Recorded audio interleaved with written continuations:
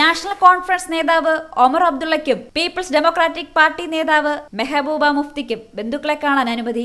കശ്മീരിന് പ്രത്യേക പദവി നൽകിയിരുന്ന ആർട്ടിക്കിൾ മുന്നൂറ്റി എഴുപത് പിൻവലിക്കുന്നതിന് മുന്നോടിയായി ആഗസ്റ്റ് അഞ്ചിന് ഇരുവരെയും വീട്ടുതടങ്കലിലാക്കിയിരുന്നു.